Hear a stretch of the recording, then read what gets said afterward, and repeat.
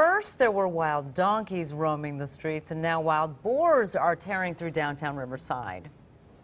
Take a look. A pack of 20 to 30 this. wild pigs invaded Fairmount Park overnight. Look at that. The boars did quite a lot of damage there, looking for food. The animals left behind patches of ripped up turf in their wake. Oh, look at the babies. People in the area think the boars may have come from the Santa Ana River bottom, not far from the park. They are so adorable. You wouldn't want to be chased by one, though. No. I hear they can run pretty fast.